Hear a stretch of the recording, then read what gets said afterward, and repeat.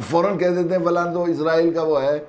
ये कह देते हैं, फलां तो यहूदी है फला का एजेंट है, फलां का एजेंट है। किसी को भी तक बहुत ही ख़तरनाक मसला है, देखिए। ये बेहतियाती असल में जो है ना, इसलिए आई है कि हमें अजमत नहीं है दीन की और आखरत की। वरना आदमी ज़बान खोलते हुए बड़ा, कितना ख़तरनाक मसला है। किसी अहले ईमान को अगर किसी ने काफिर कहा तो वो आदमी काफिर हो जाता है, इस पर इजमा है और उसका निकाह टूट जाता, ख़त्म हो जाता है। किसी साहिब ईमान को ये कहना, ये।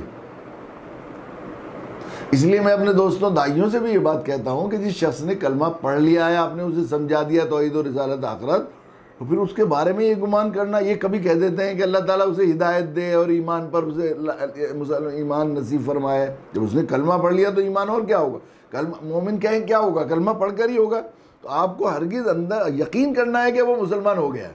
आगे अब यूँ तो कितने मुसलमान हैं, सारी ज़िंदगी नमाज़ नहीं पढ़ते? कितने लोग ऐसे हैं बेचारे? क्योंकि अगर आपने उसे काफिर कहा तो आप किसी मोमिन को काफिर कहने वाला या काफिर समझने वाला काफिर हो जाता है, उसका निकाह टूट जाता है, ये है बात। इसलिए इसमें ज़ाहिर है कि बहुत ही एहतियात करनी चाहिए।